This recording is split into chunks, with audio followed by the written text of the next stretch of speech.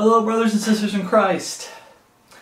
As ye have therefore received Christ Jesus the Lord, so walk ye in him. Rooted and built it up in him, and established in the faith as ye have been taught, abounding therein with thanksgiving. Beware lest any man spoil you through philosophy and vain deceit, after the traditions of men, after the rudiments of the world, and not after Christ. Therefore, seeing we have this ministry, as we have received mercy, we faint not, but have renounced the hidden things of dishonesty, not walking in craftiness, nor handling the word of God deceitfully, but by manifestation of the truth, commending ourselves every man's conscience in the sight of God. For we are not as many which corrupt the word of God, but of sincerity, being sincere, but as of God, in the sight of God, speak we in Christ. Brothers, says Christ, today we're going to talk about to give or not to give. That is the question.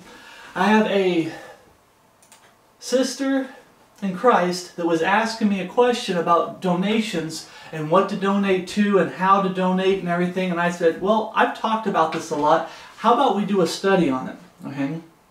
And you say, well, why did you read those verses? Because today, traditions of men and the way things are being done is not the Bible way.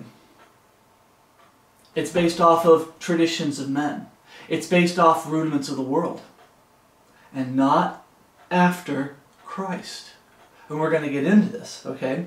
So before we get into it, this is going to be a long study, brothers and Christ, so please get your King James Bibles out. I won't be actually turning. You can pause. I'm going to be reading the scriptures from here because we got a lot to go through. You can pause the video, turn to the scriptures. Now, I could have made this video in just a few minutes. You ready for it? Donations. In the Old Testament, donations were to keep up a physical building, a temple built with man's hands and it was to keep a Levitical priesthood, a, pre, a Levite that's in the priest office. Not all Levites, but the Levite that was in the priest office, it was to take care of them as they performed the priest office. So you had a Levitical priesthood and you had a temple. Okay? That was Old Testament. They're trying to bring us back under the Old Testament. Why? Because the same thing's being done today you're donating to these Babel buildings to keep up a temple built with man's hands and to pay a Levitical priesthood to perform the service. But is that for today? No. Why? Because today, we're going to get into the scriptures, but today, who's the, where's the temple today? That's a question I'd ask. Who's the temple for the Holy Ghost today? We are, brothers says Christ. Who's the priesthood of the believer? We are the body of Christ as a whole. The body of Christ as a whole is now the temple. The body of Christ as a whole is now the uh, priesthood of the believer. We're all called into the ministry of reconciliation. We're supposed to be a living witness and as well as a verbal witness. Living for God. Alright. That being said, so what are donations supposed to go to in the New Testament? The body of Christ as a whole. Is that what's going on today? No. For the most part, it isn't. Today, they're trying to get you back under the Old Testament where there's a building built with man's hands. It's called a church. It's treated like a temple. And all the money goes to that temple and the men that are in that temple performing the, the work of that temple. That's Old Testament. And we're going to hit this, we're going to kick this 10% tithe too. Once again, where do they go to get all this stuff? I've listened to people I'm going to call him out by name. Sam Gipp. I, I, I listen to his so-called preaching on tithing. And where does he go to try to prove 90% of what he says? The Old Testament.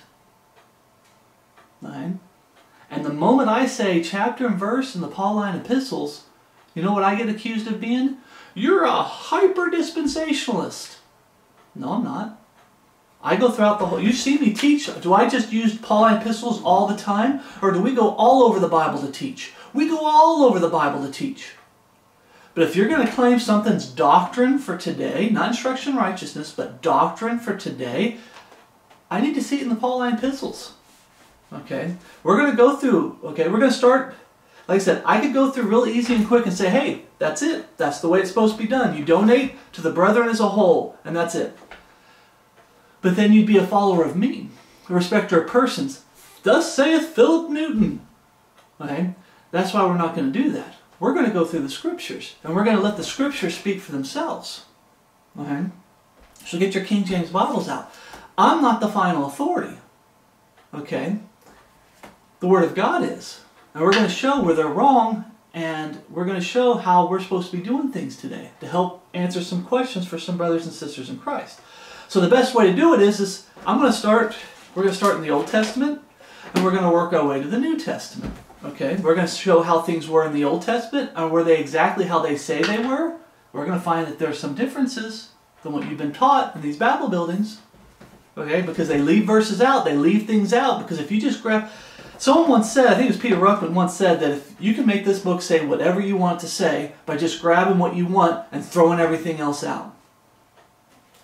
Absolutely, absolutely. So what they do is they go to the Old Testament, grab what they want, and deceive you into thinking you have to give a that you're required, commanded to give a 10% tithe. Now, was there a tithe that was commanded in the Old Testament? Yes. Is there a tithe commanded in the New Testament? No. We're going to get to that. I'm getting ahead of myself. Okay? So please bear with me, brothers and Christ. This is going to be a long road because it could be a short one. I could just show in the New Testament, but I wanted to show you to answer these questions that I'm getting from some of the brethren where they're getting a lot of the stuff. They're getting it from the Old Testament and they're getting it from Catholicism, the Catholic Church. You know what the Catholic Church loves? They love to have money, power, and control. That's what they love.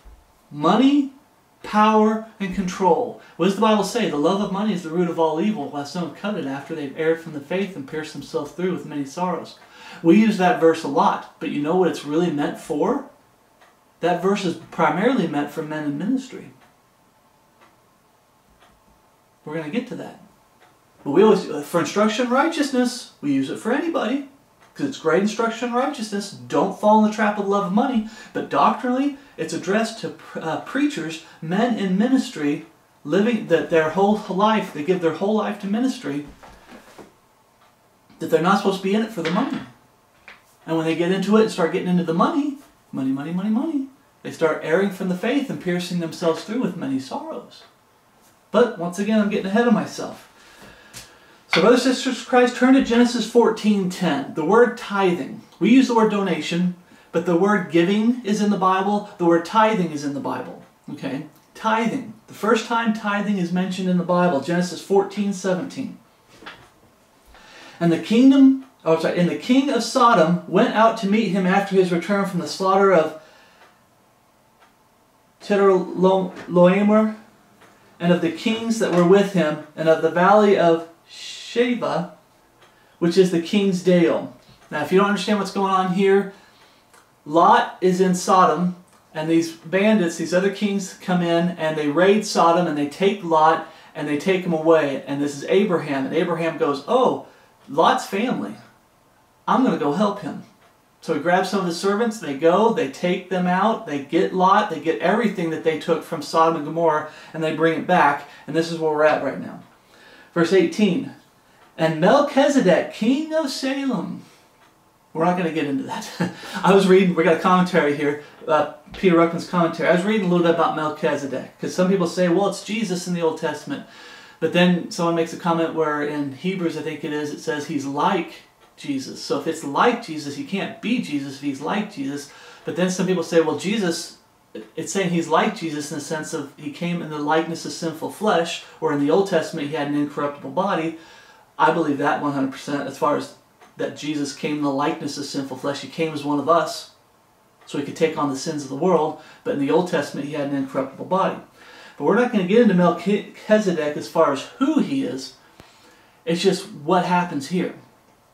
And Melchizedek, king of Salem, brought forth bread and wine, and he was the priest of the Most High God. He's a king. Now, in type, we're going to get into this. In type, he is a Christ. He's a, he's a type of Jesus. In all the Bible, they say this man's a type of Jesus. That man's a type. Of, he's a type. Okay, it's important. Why? Verse 19. We're going to keep going. And he blessed him and said, "Blessed be Abraham of the Most High God, possessor of heaven and earth." 20. And blessed be the Most High God, which hath delivered thine enemies into thy hand. God delivered the enemies into Abraham's hand, and God gave him all that stuff, all the loot, all the people back.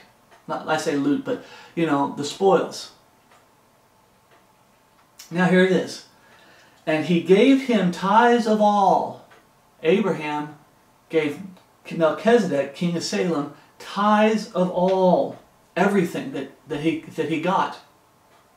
He gave him tithes of all. Verse 21. And the king of Sodom said unto Abraham, Give me the persons and take the goods to thyself. Now this is he okay.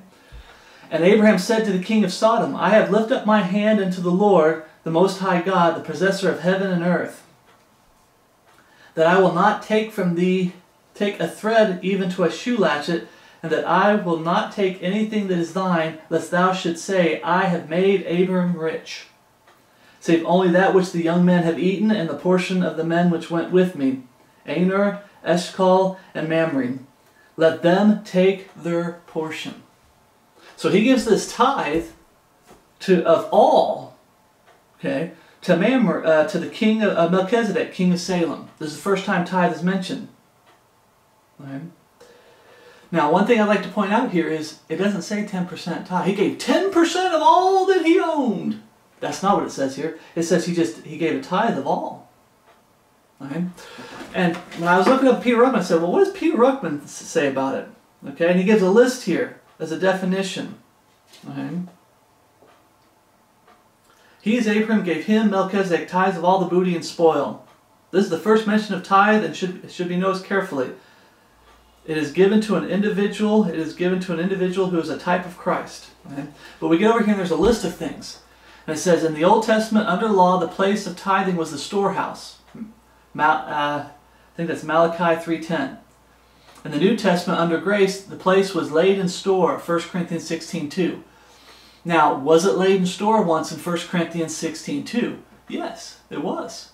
But is that how it was done all the time? No. He left out Acts where uh, all the money was brought to the apostles and the elders' feet and the apostles and the elders redistributed the, the donations out to people as they have need. They didn't store it up. It just was stored up once. And if you read the story, I don't know if I have it in my notes, but if you read the story, Paul was coming through and you have a church that had money, a church that was in abundance, because we're going to be talking about that. That's the whole point. You donate of your abundance. Okay? And their abundance, you have a church that had abundance, they were setting aside their abundance for a church over here that had lacking, that had need, that was poor. And Paul said, I'm coming through on the first day, make sure everything's stored up and ready to go. So when I come through, there's no gathering. I'm just going to grab it and I'm going to go. I'm going to get to this church over here where I'm going to be preaching, which means he didn't preach on that first day of the week. But I'm going to get over here and I'm going to be preaching this church. I'm already heading that way. I'm going to take the donation you have to that poor church. That was mentioned once. But in the book of Acts, I know it's a transition book, but it shows that there was more to it than that. There's times where you can lay it up when someone's going to come by and pick it up and take it somewhere. But some, a lot of times it's the elders and the deacons that hold the money and they redistribute the money, the donations, to the whole church as they have need. And yes, that would include men in ministry. But it includes the whole church as a whole. Today, they try to separate it and make it just the men in ministry. Uh, no, it's not supposed to be a business. It's not supposed to be a guaranteed um, salary every month. Right? But when they have need, yeah, you do pay. You do give money and food and clothing and, and, and provide a roof over the head of the men that are trying to serve God fully and completely. I'm not saying you don't. But that's included with the whole brethren. You're supposed to be doing that for all the brethren, making sure they have food and clothing and roof over their head to keep uh, dry and warm in the summer or winter, and to keep cool, like in the shade, to keep cool during the summer. That's something we're supposed to be doing for all the brethren, which we're going to find out in this study. So he doesn't tell all of it. He tells some of it, but not all of it. Verse 3 In the Old Testament, animals and vegetation, vegetables were tithe. We're going to show that's not true. That I mean, it's true, but it's not the whole truth. There was more to tithing than just animals and vegetation. Right? Predominantly, when we get into the Levites, predominantly it was, um, we're going to find out that they donated materials when it came to keeping the house of the Lord up and running. when the when the house of the Lord came in. Now remember, this is Abraham. This is before the tabernacle was was built. You know, the tent, the tents, and everything, and it was before the first temple was built. But I'm going through the whole Testament as tithing. Tithing was used for what Peter Ruckman says here: animal and vegetation was used, uh, gold was used, materials were used in tithing. Okay, but he just says it's animal and vegetation, and he shows Le- Leviticus 27:30 and Matthew 23:23. But we're going to show in the what, what gets left out a lot. He mentioned Matthew 20, 23, but in the Gospels, which we're going to mention, uh, they were given money as donation, as tithing. They were tithing gold. Hmm. So gold was tithed in the Old Testament, but it's not mentioned here with Peter Ruckman's commentary. Verse 4 In the New Testament, it appears to be money. Okay? And for the most part, yeah, in the New Testament it was. They were selling everything, taking the money, put giving it to the elders and the apostles who are elders, and they were redistributing out to the, the saints as they have need. That's how donations are supposed to work, but I'm getting ahead of myself. In the Old Testament, the tithe supported the Levites and priests. Yes, that's true, but you know what he leaves out here? It also supported a physical temple built with man's hands. He left that part out. But Nehemiah 10, 37 through 38, and Numbers 18, 24, where he uses, and it, he's right here, but he leaves stuff out. Okay? Tithing was also used to keep up a, a temple built with man's hands. In the New Testament, it supports ministers and poor saints. Right? That's true. But like I said, as a whole, it's, it's taking care of all saints. And here's the thing ministers that give their life to the Lord fully and completely, the, it's a life calling, it's not a business. It's not a nine to five job, it's not a salary. When they give their life to Jesus Christ, they are going to be poor. And they are saints. Okay, Paul warns. We read that verse. I said the love, uh, the love of money is the root of all evil. While some it after they've erred from the faith and pierced themselves through with many sorrows. Paul warns that men get in the ministry. You don't get into ministry for the money. You're not going to be living a regular life like another brother in Christ. You know, this other brother in Christ has a secular full-time job. He's got an income that comes in steadily every month. He's got a home. He's got a wife. He's got children. He, you're not going to be living in a life exactly like them. But today, they try to live a life like everyone else. Men in ministry. I, I can have my own home. I can live my dream life and with my dream wife and dream children and and you know my toys and and I just go to this Babel building and put on a nice suit and tie and my priestly robe, nice suit and tie and everything and yeah, right. So even though he singles out ministers because Paul talks about how people helped him when he was in need. He was a saint in need. He was a Bible uh, a brother in Christ that needed food and raiment as he's doing the work of the Lord. Absolutely. I'm not against helping brethren out that are serving the Lord fully and completely. So please understand that. I'm not. But you're supposed to do that for everyone in the body of Christ not just men in ministry. And in these last days, where do donations mostly go to? Just Babel buildings, temples built with man's hands, and men in ministry. It's not going to the brethren as a whole. And I've got testimonies on that. But I want to get ahead of myself. Seven, in the Old Testament, it is brought once every three years, Deuteronomy 26, 12. That is true. That is true. But what's left out here is there's certain situations when you read the Old Testament where they took collections for a specific reason that broke this three year. Okay? We're going to read some of that. Verse 8, or verse 8, 8. And the New Testament is brought on the first day of the week. It was brought on the first day of the week once because Paul was coming through on the first day of the week. Okay? It's not always collected on the first day of the week. Once again, the reason Peter Ruckman says that is he's in the Babel building system. And like I said before, I love Peter Ruckman. He's got uh, great testimonies. The man knows the Bible, but the man, like I said, I'm not the final authority, and Peter Ruckman's not the final authority. Okay? He, he was spoiled by philosophy and vain deceit after the traditions of men, after the rudiments of the world, so when he's trying to push the Babel building system and how they're doing things, he's going to take things in the Bible and try to make it sound like it's for what he's doing. Yes, they brought on the first day of the week once. Once. Now, where does it say it was the first day of the week in the book of Acts when they're, people are selling and donating and they're taking the money and redistributing it out to the, the poor, the saints? Where is it saying it's only done on the first day of the week?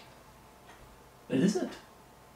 It was only stored up once and had to be ready to go because Paul was coming through on the first day of the week. He didn't stop and preach or nothing. He grabbed the donation and went over to the, the, the church that needed the money, and that's where he was preaching and teaching that day. And he didn't even do it on the first. He came through on the first.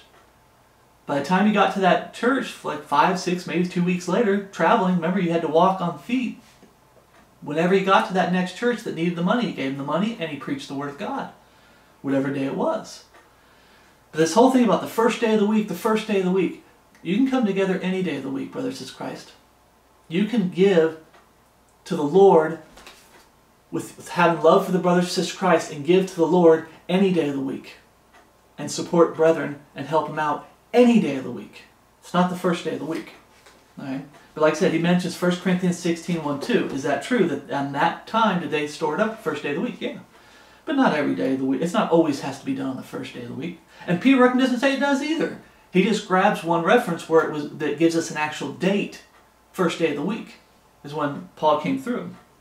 So I'm not trying to kick him too much, but I'm just saying with this list here, he leaves stuff out. And We're going to go through some of the stuff he leaves out, and then we're going to go through some of the stuff he did put in. Okay? Verse 10.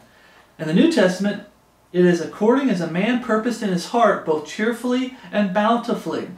See, Peter Ruckman had it right. But a lot of the Bible buildings, like Sam Gipp, pushing a 10% tithe. You're supposed to give 10% of your paycheck before you do anything with it. That's Catholic. That's Catholicism. That's the love of money. Okay? That's not how it's supposed to be. We're going to prove that it's the abundance. After you paid your bills, your debt, you, uh, you're, you're providing food and raiment for you and your family. A man provide not for his own, he's worse than an infidel. Once you've provided the basic needs and you paid your bills, whatever you have left over, that's called an abundance. Whatever you have left over, that's where the tithe comes from. And we're gonna, I'm going to prove that. Okay? And Peter Ruckman's here, bountifully, cheerfully and bountifully. You're bountifully, what, what you have left over. Okay? But a lot of these Bible buildings push, no, you're supposed to give a 10% tithe first. And if you can't feed your children and clothe your children and put a roof over their head, then that's your problem and that's your fault and you need to do something about it. But we deserve our this Bible building, this business, this temple built with man's hands, we deserve 10% first. And we're going to prove that's not in Scripture. Not in Scripture at all. Who does that? Catholicism does that. The Catholic Church does that. Brothers and sisters, I watched a lot of videos in the past, the Reformation and everything, and you look, they're all about money. Donate, donate, donate, money, money, keeping buildings up. Traditions of men. They had, um, they brought in the deception, they brought in fake uh, items and said like this is a nail from from the cross that Jesus was crucified here's a piece of wood from the cross that Jesus was crucified and this is the cup that we found we found the cup that you know Jesus used when he broke bread with the, the, the apostles and stuff like this oh here's a scrap of rags from Peter's robe yeah they did those things why are we so why the Bible building system as a whole lining more up with Catholicism than it does with the Word of God. Okay? In the New Testament, in the Old Testament, the tithe plus an offering. In the Old Testament, which he leaves out here, it was a command in the Old Testament. Ah! Now you wonder why they like to go to the Old Testament to try to prove the 10% tithe. Because in the Old Testament, it wasn't a 10% tithe, but it was a tithe, and it was commanded. It was. I'm not going to hide. It It was commanded. We're going to show the scriptures. But is it commanded today? No. 2 Corinthians 9, 6 through 9. No, it's not commanded today. When you make it a command, you go against the scriptures. But once again, where, what's 2 Corinthians 6, 9, 6 through 9? It's in the Pauline epistles. For today. Where do they go to? The Old Testament. But if you open your mouth and say chapter and verse on the Pauline epistles, they'll call you a hyper-dispensationalist. If you say, but, but in the Pauline epistles, it says something different than the Old Testament. they'll still get on to you and say, You're a hyper dispensationalist. Uh, no, you guys don't like how things are supposed to be done today. You want to do things your way, Catholicism's way. You want to go back under the Old Testament. And you want to do things the Old Testament way because it's more profitable. You can have more money, more power, more control that way. Getting ahead of myself, okay? But just wanted to read that. So Peter Ruckman, it's a good read. I just believe that if you, you start with this and if you keep studying the issue, giving, tithing, and whatnot, you're going to find out there's things he left out. Okay? There's things he left out. And you realize, like I said, first day of the week. Uh, no, that whole first day of the week thing, you can meet any day of the week. Okay? The, the, the church met one time to preach and teach on the first day of the week. Paul met one time to pick up some donations and keep going. He didn't stop to preach or teach, but he collected everything on the first day of the week once. And because of those two incidences, now we always have to meet on the first day of the week. You always take donations on the first day. What happens? Traditions of men come in. And traditions of men start usurping the commandments of God, and the traditions of men become the authority and throw this and put, this gets pushed to the side. Well, this is what we've always have done it. This is how we always have done it. This is how the church fathers have done it. Where they get from? The Reformation. Where they get from? Catholicism. They never hate it when I take it all the way back. A lot of the traditions of men in the Babel building system, the way they're doing the Babel building system, has no basis in Scripture, brothers says Christ. No basis in Scripture. Where they get it from? Church fathers. Where they get it from? The Reformation. Where they get it from? Catholicism. Where Catholicism get it from? Paganism and Catholicism tried to replace Israel. In the Old Testament, you'll find some things that are done, they're doing that in the Old Testament. But are we supposed to be doing that today? No. So that's the. Yeah. Please, brothers and Christ, hopefully you're still with me and you haven't just, you know, oh, I'm not going to listen to this guy because he's against tithing. I'm not against tithing. I'm 100% for tithing when it's done the Bible way. I'm 100% against traditions of men that go against the commandments of God. Philosophy, that go against the commandments of God, rudiments of the world that go against the commandments of God. I'm for the Lord. Brother says Christ, are you for the Lord? I hope so. I hope so. We can make mistakes. We can be for the Lord and be gung ho. Remember Peter? He was gung ho. Whack the ear off the, of the uh, priest. I don't know if you watched that story, that the study we did when I had the sword out. And we were talking about Peter, courageous man, foolish man lopping off an ear. Peter was so gung ho, he wanted to fight for the Lord and fight for the Lord, but he didn't know how to fight for the Lord. He didn't know when to fight for the Lord. Okay? There's times that we fight for the Lord. There's times we step back and let people fall on their face until they're ready for us to step forward and say, okay, this is what the Bible actually says. Okay? There's a time to fight, and there's a way we're supposed to fight for the Lord. Peter was just so like I said, you can get, oh, I'm going to defend my Babel building, and you get that sword out like Peter did, and you whack that ear off, but you're not listening to Jesus Christ. Peter had a problem there for a while. He wouldn't listen to Jesus Christ. I'm going to die and be rose again the third day. And Jesus rebuked Jesus. He, he didn't want to hear what Jesus had to say. He rebuked him. Jesus told him before he was ascended up, he told Peter and all of them. Hopefully, I've been saying Peter instead of Paul. Sometimes P and P, and I get mixed. I, I say them wrong. Forgive me. But Peter, he told Peter and the people there that they were to wait until Pentecost to do anything. And what did they do? Peter didn't wait. He got excited. I got to do something for the Lord. And you know what? We need a 12th apostle. But it wasn't an apostle that God called as an apostle. God didn't choose that man. Peter and the people did. They didn't wait. They get sometimes you get excited for the Lord and you want to do something for the Lord, but we need to learn patience and we need to learn to listen to what God actually has to say. Not what men have to say. You say, why are you taking that? Because a lot of people are going to defend their their their their respecter of persons, whether it's on YouTube that claims to be full-time ministry and taking donations, and the people in the Bible building system. You're going to have people that just vehemently try to defend, defend, defend, and they don't listen. They'll listen to that guy, but they don't listen. Okay, so let's let's keep going. Let's keep going. Okay, tithe. When you look up tithe, in the uh, uh, Webster's 1820 dictionary, it says the tenth part of the increase, increase, not the basics that pay, that take care of everything, the food, the clothing, the bills, the increase. It's a tenth part of the increase annually arising from the profits of land and stock allotted to the clergy for their support. Okay? Now, like I said, I'm going to prove that it's not just for the clergy, but it was also for a building, to keep a building up. It's for both. And it's not for the Levites as a whole. It was the Levites. It was like two or three months. I, please don't quote me on that, but you can look it up. They were in the priest's office for so many months, and then so many months they were in their own land, working their own land. Now, the land wasn't theirs, because remember, God's their inheritance, but they were given land to live off of, okay, by all the other 11 tribes. Okay? So they, had, they went home and did work with their hands, you know, what you call secular work, where they had animals and crops and vineyards and stuff like that. And then so many months out of the year, the Levites would go to Jerusalem and do the work of the, the priest's office at the temple. Okay?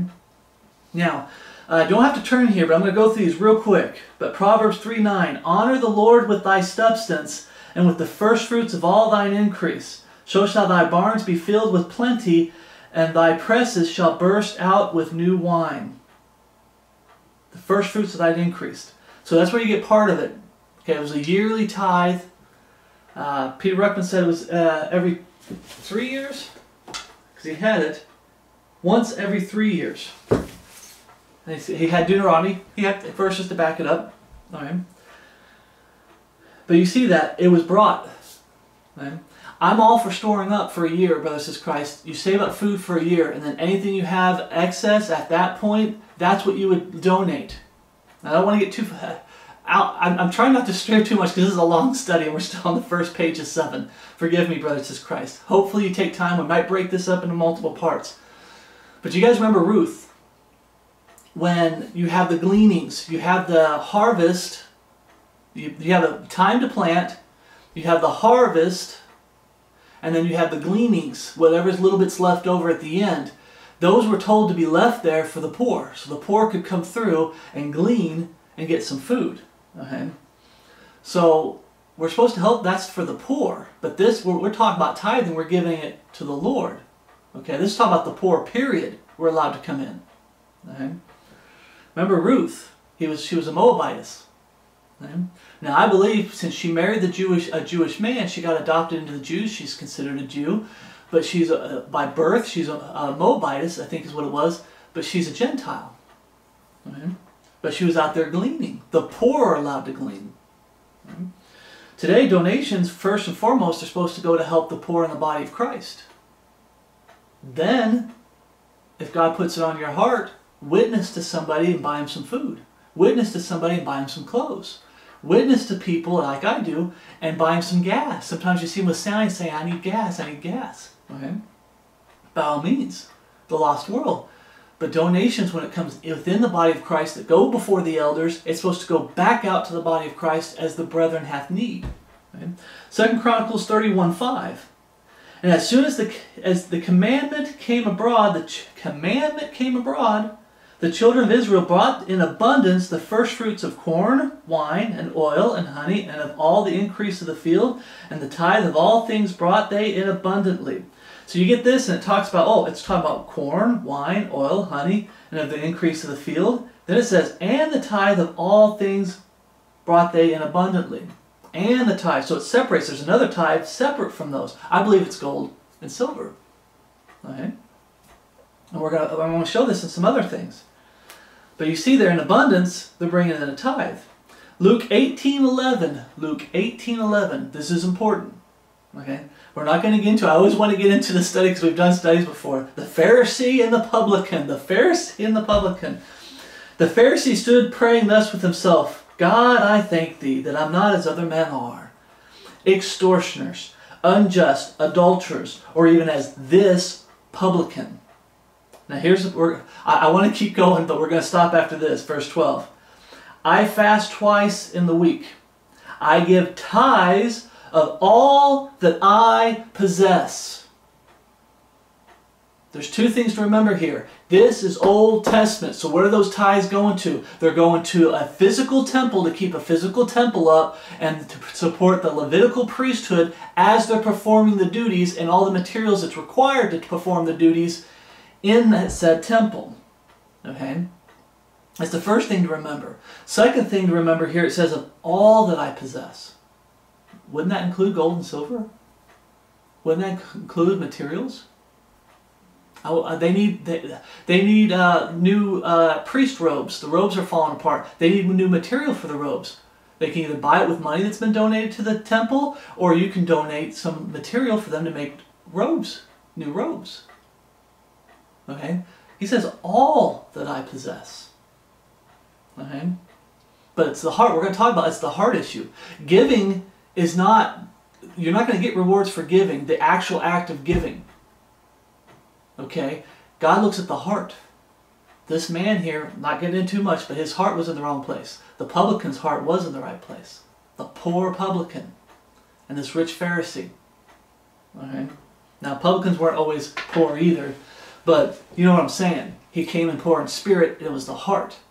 But the point I'm making here for this subject is tithes of all that I possess. So it wasn't just food and animals, like vegetation and animals. It was anything and everything that God required to keep that temple up and running and the Levitical priesthood up and running, performing the works of the Lord in said temple. Okay. Mark 12 41. And Jesus sat over against the treasury and beheld how the people cast money in the treasury. You guys remember this story? Cast money in the treasury. And many that were rich cast in much. Many that were rich cast in much. And there came a certain poor widow, and she threw in two mites, which make a farthing. And he called unto him his disciples, and said unto them, Verily I say unto you, that this poor widow hath cast more in than all they which have cast in into the treasury. Why? Verse 44 For all they did cast in of their abundance, but she of her want did cast in all that she had, even all her living. Now, the whole point of this is where do we get a tenth part? I'll show you where they get it from, but it's not in here. But this story right here, brothers and Christ, we're supposed to give not, it's not a command, but it's a heartfelt thing that when God gives you abundance, you should have a desire to share it. When you've got more than you need, it should be a natural, heartfelt desire to want to share it with poor neighbors, with poor that you come across in the city, uh, with brothers and sisters in Christ that are in need. You should want to share it when you have an abundance. Okay? But there are times where there's some people that go a step farther, like this woman did. Evidently, that day there was a call. I'm not trying to add to the scriptures, but there might have been a call where they need donations because we need to repair this door. We need donations because we need new robes for the priesthood. We need new uh, this. We need that. We need things to do the work of the Lord because remember they're in uh, captivity at this time, and they're in a, the poor. Everything was probably in a poor state. The temple was probably in a poor state. Whatever. And she's like, "This is all I've got. I'm going to give it to him." Now I still believe it's abundance. She she was able to eat. She she was able to. She's got clothes. She's got food. God is taking care of her. This is two of her abundance, but she gave in all of her abundance.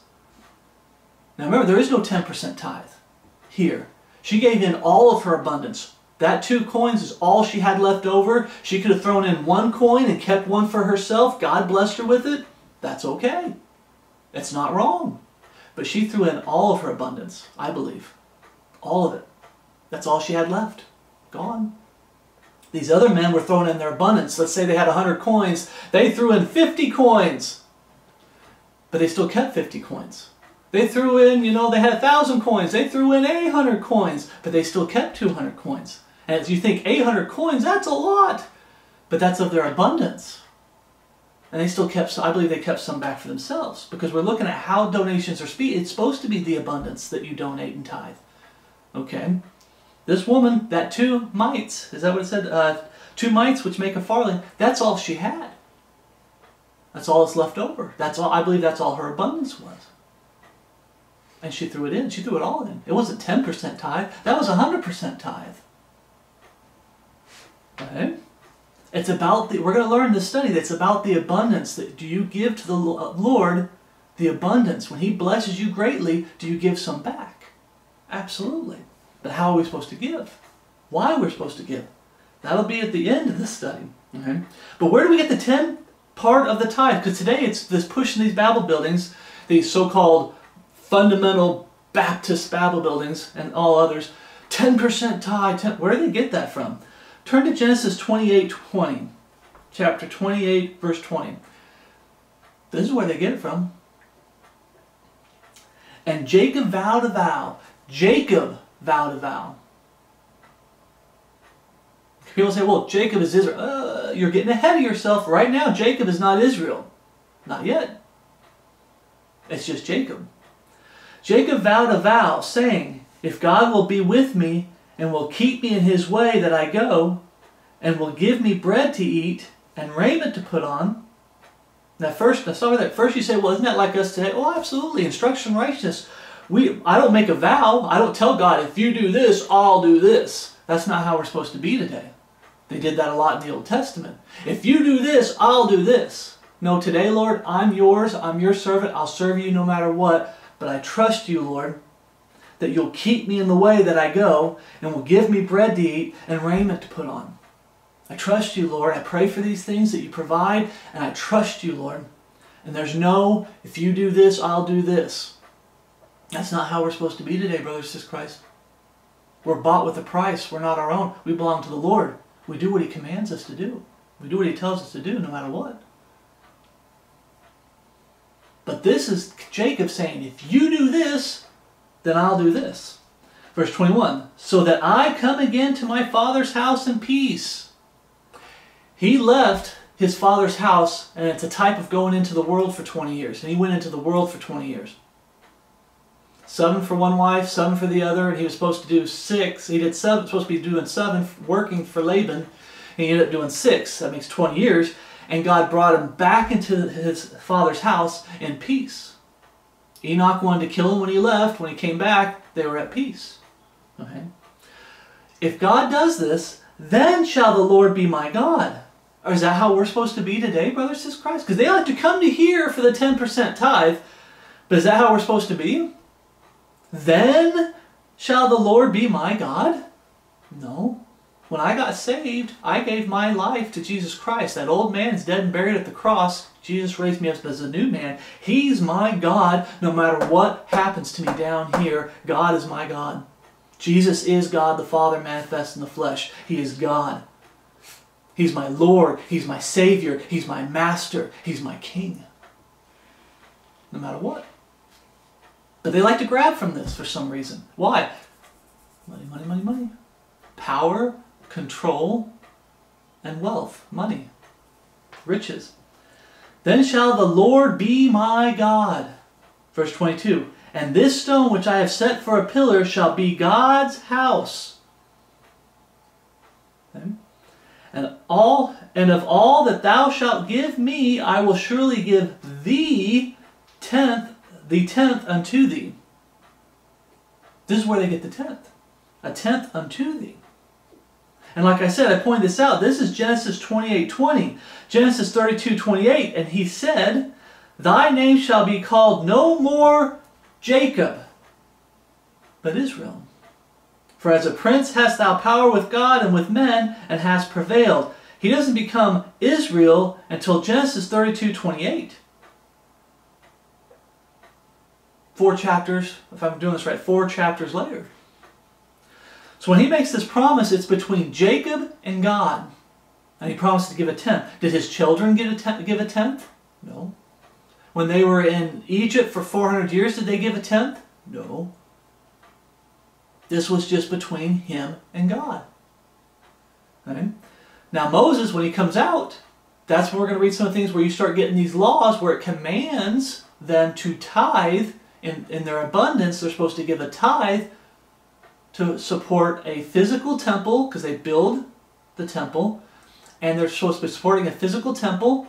And the first temple, remember, it's the, uh, it's the tents, the tabernacle. Okay? And the Levitical priesthood. They make clothes for Aaron and the priesthood, as he's in, and his sons that are in the office of that start the office of the priesthood. Right? But then there's a command, it's not a tenth. Where do they get the tenth? They get it from here. Genesis 32. Oh, we did that. Okay.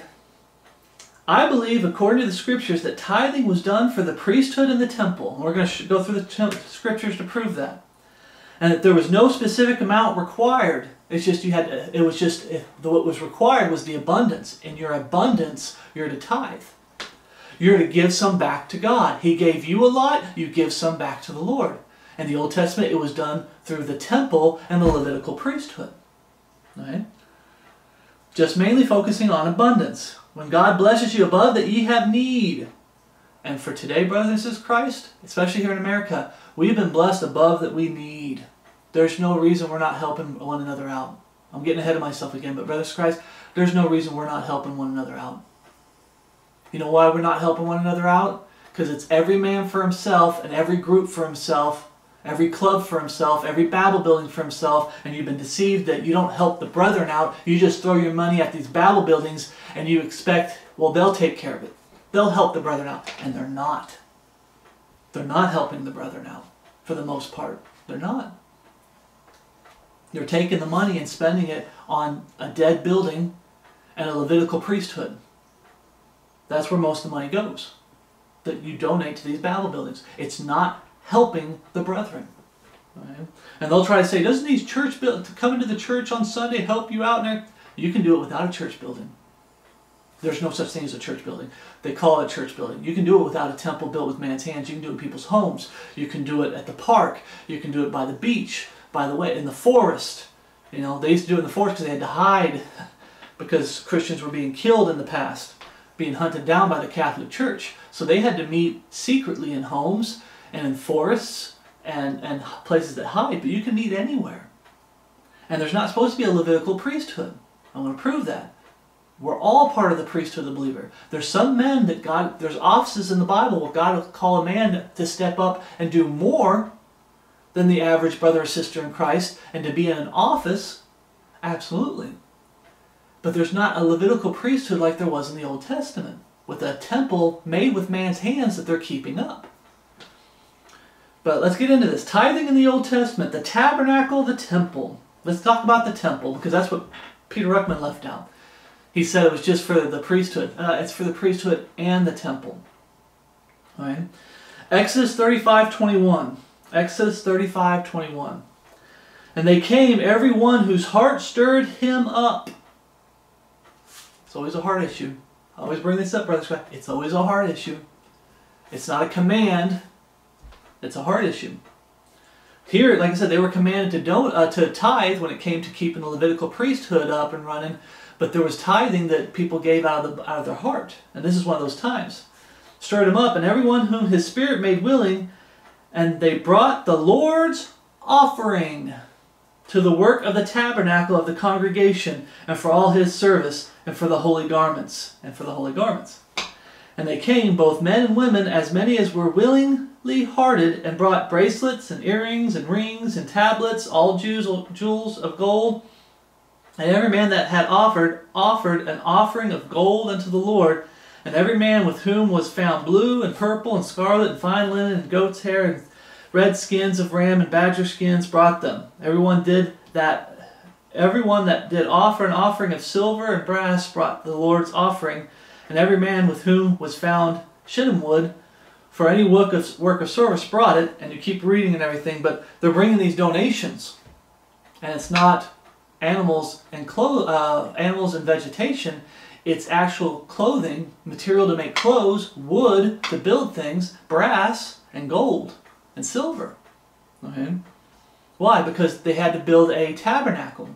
Later on, they build a temple then later on, the temple needs to be repaired. Then the temple needs to be rebuilt because it was destroyed, and so on and so forth. Uh, 2 Kings 12 7, it needed to be repaired. Turn to 2 Kings 12 7. Then King Jehoshaphat called for Je- Jehoiada, I hope I pronounced that, the priest, And the other priests and said unto them, Why repair ye not the breaches of the house? There's gold, and, and you know they, they've got gold coming in as donations. Why aren't you free, bre- uh, repairing the breaches of the house? Now therefore receive no more money of your acquaintance, but deliver it for the breaches of the house. And the priests consent to receive no more money of the people, neither to repair the breaches of the house. But Jedediah the priest took the chest and bore a hole in it, a hole in the lid of it, and set it beside the altar on the right side as one cometh into the house of the Lord. And the priest that kept the door put therein all the money that was brought into the house of the Lord. Tithing. And it was so when they saw that there was much money in the chest that the king see, that the king's scribes and the high priest came up and they put up in bags and told the money that was found in the house of the Lord, and they gave the money, being told, in the hands of them that did the work, that they had the oversight of the house of the Lord, and they laid it out in the carpenters and the builders and the wrought upon the house of the Lord and the masons, and they did the work and everything, and they, they, they repaired the house. Okay? So in the Old Testament, there was donations that were brought in. Okay, they weren't supposed to go purposely out there saying, give us money. They just put a thing up there, purposed in their heart. People that when they took money in, they put it in that box. And they repaired it. And those are just two times. But like I said, if you remember, you have the tabernacle was built, people gave tithes, gave offerings, and people, uh, when they when Solomon built the temple, he was rich. He built the temple for the house of David, so it came from the house of David the first time it was built, but then it got into disarray and it needed to be kept up. It was burned. The temple was rebuilt. Um, it was repaired once, but it was it was built once. It was rebuilt a second time, and we're waiting for the they're waiting for the third temple to be rebuilt. Okay, so anyway, so they had a physical temple that needed to be kept up. What about the priest's office? Exodus 28 1. Exodus 28 1. And take thou unto thee Aaron by thy brother, and his sons with him, from among the children of Israel, that he may minister unto me in the priest's office, even Aaron, Nadab, Abihu, Eleazar, Eleazar, and Ithamar, Aaron's sons. Okay? Now we're, this is where we're starting the priesthood gets started. Okay? Second Chronicles 11 14. Second Chronicles 11 14. For the Levites left their suburbs and their possessions and came to Judah and Jerusalem, for Jeroboam and his sons had cast them off from executing the priest's office unto the Lord. The reason I threw that down is I'm pointing out that uh, Judah and Benjamin stayed together when they were separated. The kingdom was separated. Okay, so you had actually supposed it was supposed to be ten and two. Ten tribes over here, and Judah had uh, Benjamin and Judah. But what happened was is it ended up being nine tribes, and the Levites went over there. And there's actually three tribes here. But you have the Levites that are supposed to perform the, the priest office. And if you read that whole story, uh, Jeroboam, he cast off the, the Levites and then made priest of the other tribes. That was against God. Okay? There's only supposed to be a specific group doing the priesthood, and it's the Levites that are supposed to be doing the priesthood. Okay? Numbers 18.24. Numbers 18.24. But the tithes of the children of Israel, which they offer as a heave offering unto the Lord, that's where we learn about heave offerings. It's a heave offering. When you give a tithe, it's a heave offering. I have given to the Levites to inherit. It goes to the Levites. Remember, the Levites, to inherit, their inheritance is the Lord. I'm getting ahead of myself a little bit. But their inheritance is the Lord. So when they came in and gave a tithe to the Lord, a heave offering, it went to the Levites. Therefore have I said unto them, Among the children of Israel they shall have no inheritance. God is their inheritance. But out of that heave offering, because some people will still say, oh, there's going to be another tenth. Turn to Numbers, well, 1826. Jump down two verses.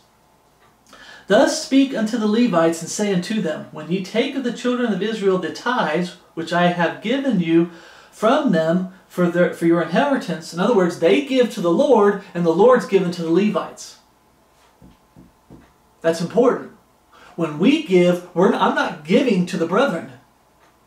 I'm giving to the Lord, and the Lord's providing for the brethren. You don't give me the glory, you give God the glory. You thank God for what He's given you. I mean, you can thank me for, uh, in general, for just being a giver and being grateful, uh, being gracious, you know, being humble and great and loving the brethren and, and, and having a cheerful and wanting to give. You can you can encourage that. But you don't give me thanks for what I gave you. You give God the thanks. It's very important, brothers and Christ. It's very important. You give God the glory. Today, a lot of men in these ministries, online and Bible they tend to take a lot of credit for themselves which I have given you from them for your inheritance. Then ye shall offer up a heave offering of it for the Lord, even a tenth part of the tithe. See, look, they had to do a tenth. Uh, the tenth part of the tithe. You say, what is that talking about? If the tithe, if people tithe, let's say 10 goats, they would take a tenth of that, which would be one goat, and they would offer it as a burnt offering as a heave offering to the Lord, and the nine goats the Levites took. If it was a hundred cows, they would sacrifice ten of them, a tenth of the tithe. They would sacrifice ten of the cows to the Lord as a burnt offering, a heave offering to the Lord, and the 90 cows they would keep for the Levites to perform the priesthood, the Levitical priesthood. Right? It's very important to understand that. But there's a tithe, and that tithe goes to the Lord first, and then it comes from the and once it hits the Lord, it goes back to the Levites. And it's given to them from the Lord. Deuteronomy 12:6. And thither ye shall bring your burnt offerings and your sacrifices and your tithes and heave offerings. Now remember, heave offerings is taken from the tithe, and it becomes a separate offering, a heave offering. Of your hands and your vows, and your free will offering, and your firstlings of your herds and of your flock. Okay? But there we see tithes and heave offering. You shall bring it. It's a command. Okay? The, Le- the heave offering and tithes are for the Levites to inherit. Why is this important? It's important when we get to today, okay? Why am I going over this? Why am I making a big deal about it? It's a building that they're trying to keep up and it's a Levitical priest office that they're trying to keep up. And it's their inheritance. Right? Numbers 18.20. Numbers 18.20. Remember, you can always pause the video. And the Lord spake unto Aaron, Thou shalt have no inheritance in their land, neither shalt thou have any part among them. I am thy part and thine inheritance among the children of Israel. God is their inheritance. Deuteronomy 18.2 says, Therefore shall they have no inheritance among their brethren. The Lord is their inheritance, as he has said unto them. Today, brothers says Christ, do we have land as an inheritance? Or is the Lord our inheritance? Do we have a temple that we're supposed to keep up and keep it holy and live for the and we're supposed to use it living for the Lord? Getting ahead of myself. So we have a Levitical priesthood to keep up the physical temple and to perform the office of the priest, and the Lord is their inheritance. That's the Old Testament way. And they love to grab the Old Testament way. What about the New Testament? The New Testament, brothers and Christ, turn to 1 Corinthians 6.15, the New Testament. Where's that physical temple in the New Testament? Remember, where's what's the New Testament? The New Testament comes in at the death of the testator, and Hebrews talks about how new how testaments work. A new instruction righteousness. The New Testament comes in with the death of the testator. So when Jesus died on the cross, that's when the New Testament came in. So anything before Jesus' death, it's under the Old Testament. Now Jesus prophesied and he told the apostles about the time of the Gentiles. That's where we get the title, the time of the Gentiles for this time period and things that would go on in this time period, how salvation would go out into the world. He did prophesy.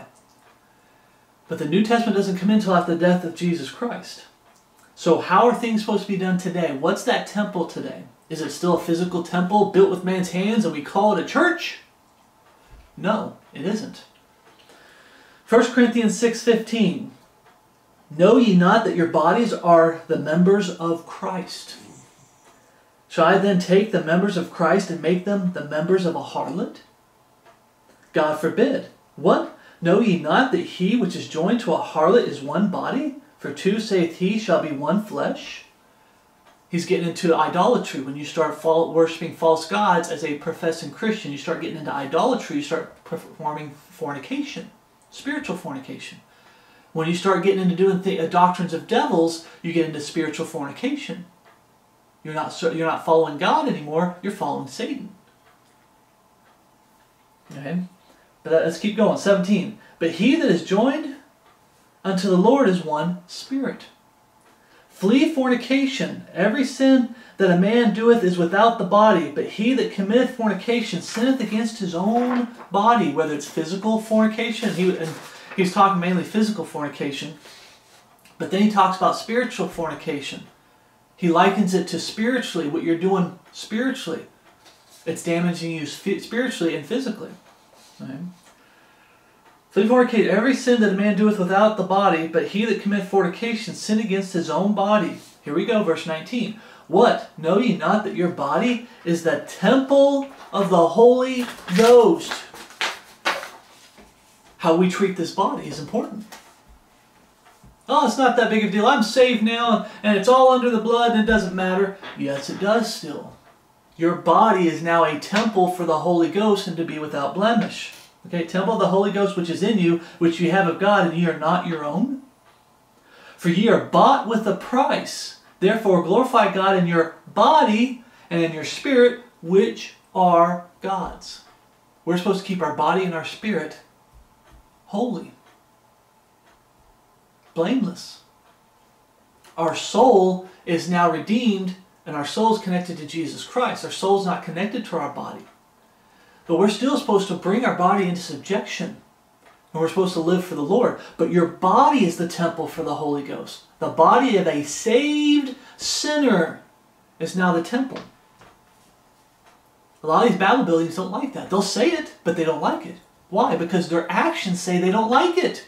They want you to treat that building as if it's the temple, and they want you paying to keep that temple, that physical building up and running. That's not how it's supposed to be today. Romans 12.1, turn to Romans 12.1. I beseech you, therefore, brethren, by the mercies of God, that you present your bodies a living sacrifice. So your body is not only the temple for the Holy Ghost, what goes on in the temple? Sacrifices. You're supposed to have spiritual sacrifices, says Christ. You're supposed to be a living sacrifice, holy, acceptable unto God, which is your reasonable service, the changed life. You start sacrificing sin, getting sin out of your life. Okay? You sacrifice your time. Are you starting your day with the Word of God? Ending your day with the Word of God? Studying the Word of God? Hiding God's Word in your heart and living it? You sacrifice your time. Okay? You sacrifice your abundance. We're going to get into that. Okay? A living sacrifice. And be not conformed to this world. How do you know someone's not being a living sacrifice? When they look like the world and they line up with the world. Hence the subject of donations. Why are these Babel buildings looking like the world, especially Catholicism, and lining up with the world? Because they're not acting like a living sacrifice. The opposite of a living sacrifice is uh, uh, wholly acceptable unto God, which is your reasonable service. How do you know someone's not presenting their bodies as a living sacrifice? They're conforming to the world. How do you see that someone's doing, uh, uh, being, presenting their bodies as a living sacrifice? They're separate from the world. They don't look like the world, talk like the world, act like the world. They're not doing things the world's way, the flesh's way, Satan's way. They're doing things God's way. They're speaking how God has taught them how to speak. They're living how God has taught them how to live. But be transformed by the renewing of your mind that ye may prove what is that good and acceptable and perfect will of God. Brothers and Christ, our bodies, when someone gets saved, they're the temple, and that's where the sacrifices go on. Remember the heave offerings. That's where the sacrifices go on. This is the temple. I'm a saved, Bible believing, God fearing man, a Christian man according to the scriptures, the King James Bible. I'm in Christ Jesus. I've been made unto God wisdom, righteousness, sanctification, and I'm sealed into the day of redemption, redemption. I'm the temple.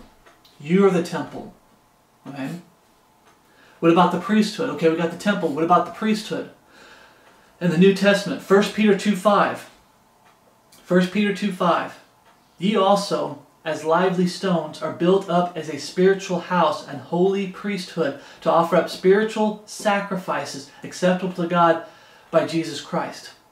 Once again, we get it re-shown how the, the, person who gets saved, you're the temple. You're that spiritual house. What goes on in that spiritual house? Uh, uh, spiritual sacrifices. And here we get a little bit more information. You're a holy priesthood. Acts 26, 18. You say, well, that's Peter. I understand that's Peter. I understand. But in Acts 26, 18, does it talk about Jesus being our inheritance? We're servants of Jesus. He's our inheritance. We're to serve Him. It talks about if we suffer with Him, we shall also reign with Him. We come back and rule and reign with Jesus Christ, it says we're going to be priests and kings. Yeah. Right? I think when we got adopted in, we're adopted in as the, as, the, as the Levites. We're adopted into that tribe. And now we're performing the office of the Levite. Our body's the temple for the Holy Ghost, and we are the priesthood of the believer. We're all called in the ministry of reconciliation. We're all supposed to be a verbal witness and a living witness for Jesus Christ. Jesus is supposed to shine through us, like he did through the temple in the Old Testament, and like he did through Moses. Remember that? They had to put a veil over his face because he had been with God. God's light shone through him. That's how it's supposed to be for us today. We're supposed to be a light to this dark world. Okay. Acts 26 18. To open their eyes and to turn them from darkness to light, and from the power of Satan unto God, that they may receive forgiveness of sins and inheritance among them which are sanctified by the faith that is in me, Jesus Christ. He's our inheritance. Ephesians 1.10. Turn to Ephesians chapter 1, verse 10. That in the dispensation of the fullness of times he might gather together in one all things in Christ, both which are in heaven, which are on earth, even in him, in whom also we have obtained an inheritance being predestinated according to the purpose of him who worketh all things after the counsel of his own will. I always got to say this the predestination is not saying you're guaranteed to get saved versus guaranteed to get lost, go to hell. It's talking about how we get saved is predestinated. God already had it planned out from the very beginning how we would get saved today. Verse 12 that we should be to the praise of his glory who first trusted in Christ in whom ye also trusted after that ye heard the word of truth, the gospel of your salvation, in whom also after that ye believed, ye were sealed with that Holy Spirit of promise, the inheritance, eternal life. What's the, our inheritance? Eternal life. Where do we get that uh, eternal life? Through Christ Jesus our Lord. He's our, our inheritance. We are the priesthood. Verse 14, which is the earnest of our inheritance until the redemption of the purchased possession, until the praise of his glory. Our inheritance, we're to serve God now. Until the until uh, what it says, redemption of the purchased possession.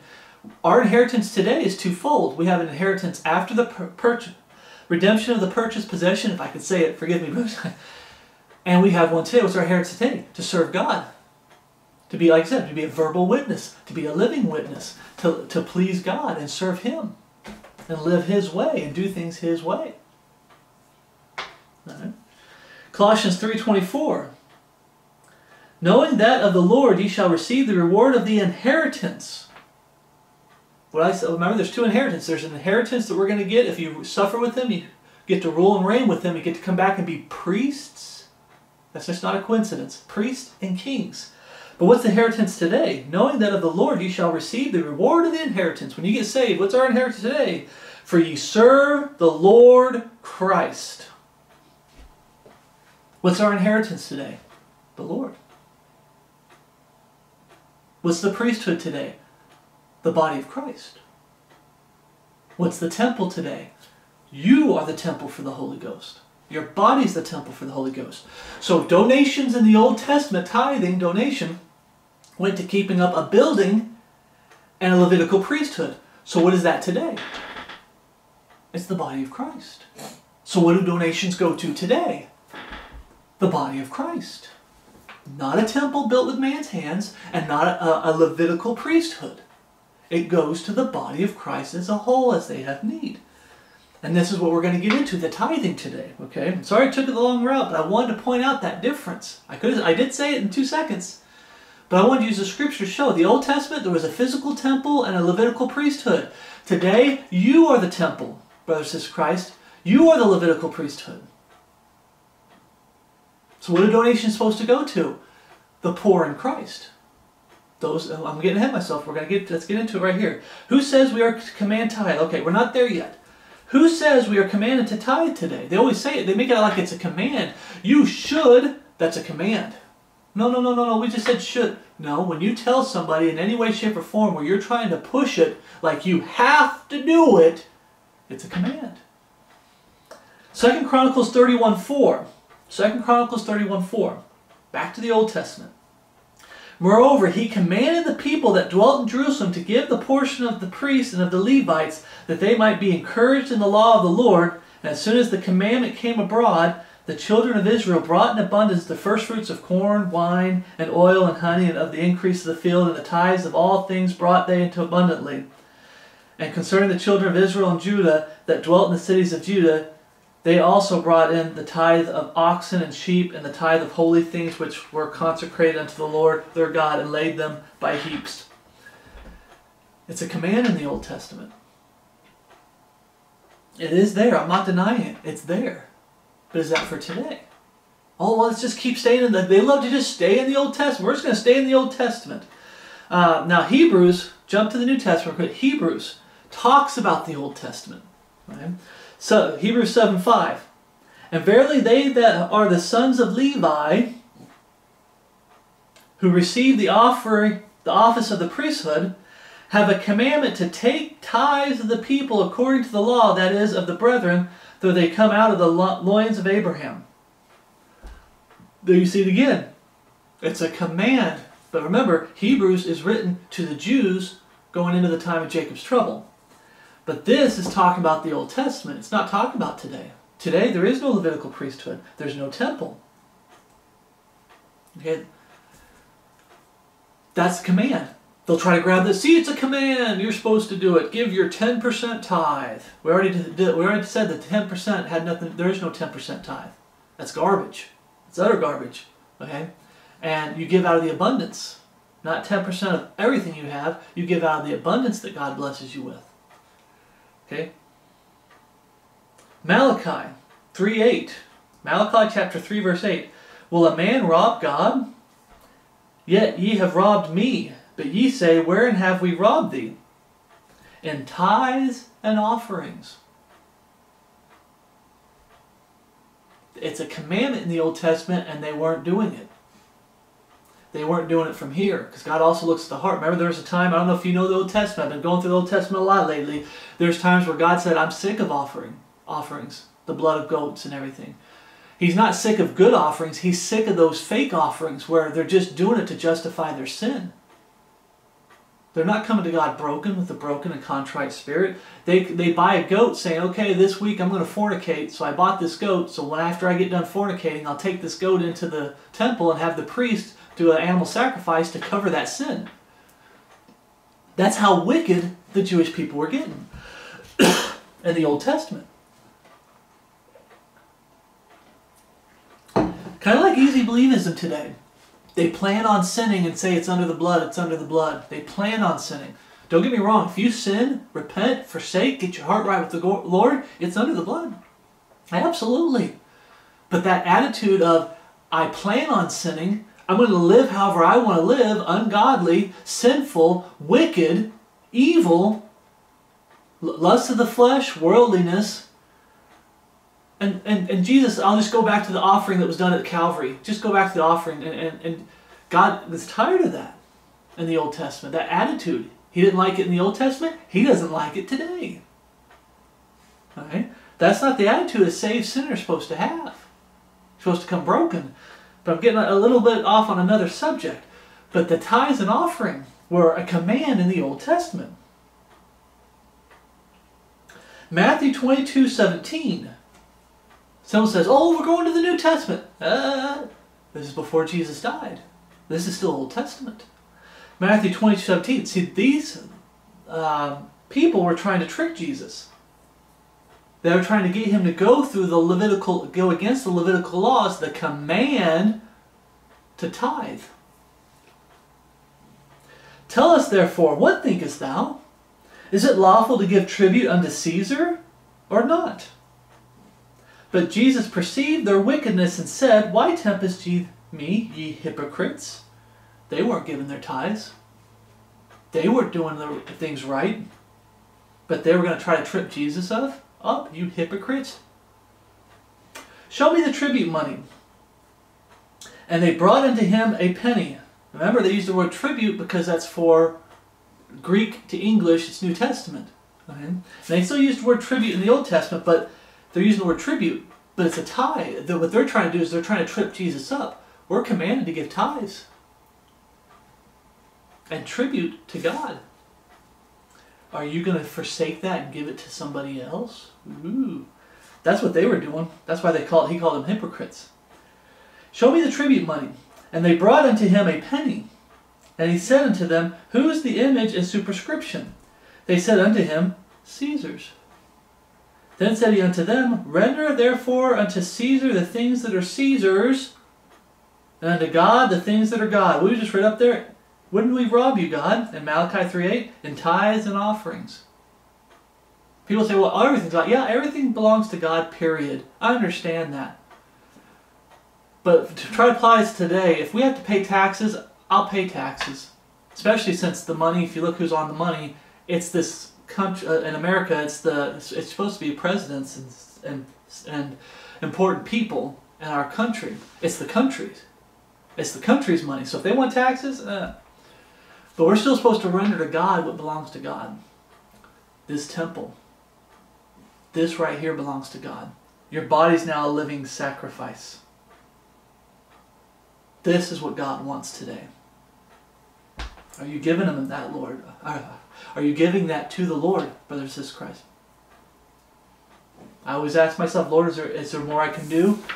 Am I living right? That's the whole point of communion. Am I living right? Am I believing right? Am I standing for what's right? Am I loving my brothers and sisters in Christ? Am I helping them out when you give me the, uh, the ability to help them out and everything?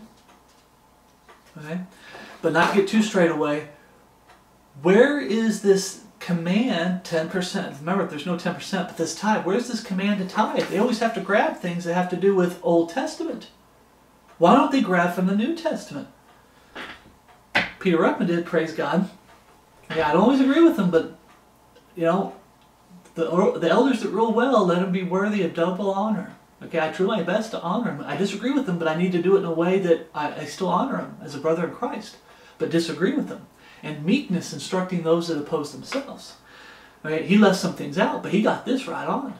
Okay, Romans 12, 5. Turn to Romans chapter 12, verse 5. He didn't mention this one. He mentioned 2 Corinthians 9. We're going to get to that one. But God showed me this. Romans 12, 5. This disproves that it's a command that everyone's supposed to give tithes. This disproves it. Okay? So we, being many, are one body in Christ. Remember, your body's a temple for the Holy Ghost? You're supposed to be a living sacrifice. Now we're all one in Christ Jesus our Lord. There's many bo uh, uh, one body, many members. There's many, there's many offices but one body. Are one body in Christ, and every one members of one another.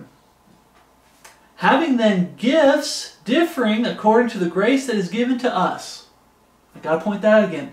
Having gifts differing according to the grace that is given to us. He's going to go into these gifts, and everyone's gift, not everyone has the same gift. God blesses us all in different ways to serve Him in different ways. But we're all one body, and we need to remember that. Oh, no, no, I'm doing this. Everyone needs to be doing what I'm doing. Not necessarily. Sometimes, yeah, we all need to be praying. We all need to be reading the Word of God, and studying the Word of God. But God might call you to be an evangelist. He didn't call everyone to be an evangelist.